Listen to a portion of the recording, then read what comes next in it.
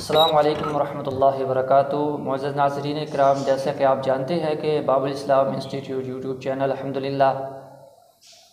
इस्लामी और रूहानी वज़ाइफ के साथ साथ आपके दीनी सवाल के जवाब भी आप तक पहुँचाता है।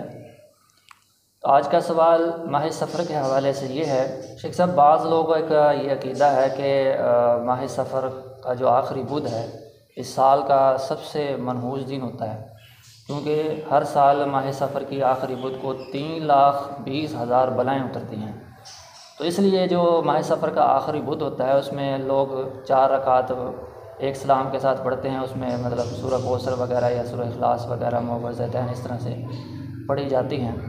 तो क्या ये नमाज़ पढ़ना दुरुस्त है? वो कहते हैं कि पढ़ते तो हम नमाज़ ही हैं।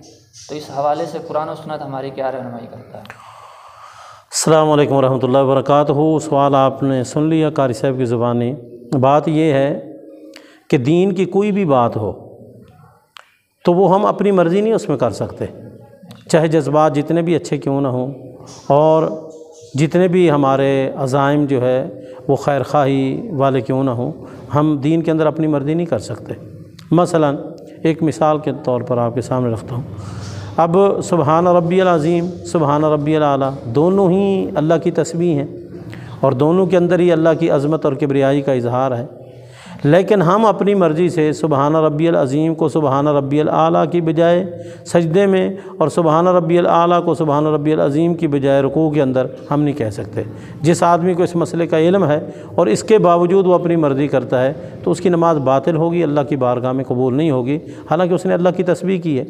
ऐसे ही सफ़र के महीने के हवाले से रसूलुल्लाह सल्लल्लाहु अलैहि वसल्लम से कोई नमाज़ साबित नहीं है, कोई ज़िक्र अजकार साबित नहीं है और कोई मखसूस रकातों के अंदर मखसूस सूरतें साबित नहीं हैं।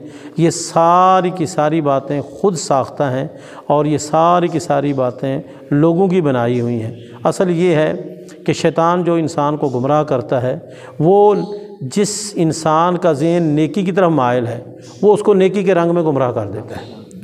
तो ये शैतान की एक चाल है कि चूँकि लोगों का जहन जो है वो एक नेकी की तरफ़ है तो फिर उसी रंग में उनको गुमराह कर देता है। तो ये बिदत है और कुल्लो बिदातन जलाला व कुल्लो जलालतन फिन्नार। ऐसे इबादत का जो अंजाम है, वो गुमराही है और गुमराही का अंजाम जहन्नम है। रसूल अकरम वसल्लम से इस महीने में कोई भी इबादत नफली, मखसूस अंदाज में, मखसूस तरीके पर, मखसूस सूरतों के साथ, मखसूस मकसद के लिए कोई भी साबित नहीं है। अल्लाह ताला हमें दीन इस्लाम और सिरात मस्तकीम पर चलने की तोफ़ी अता फ़रमाए। आमीन।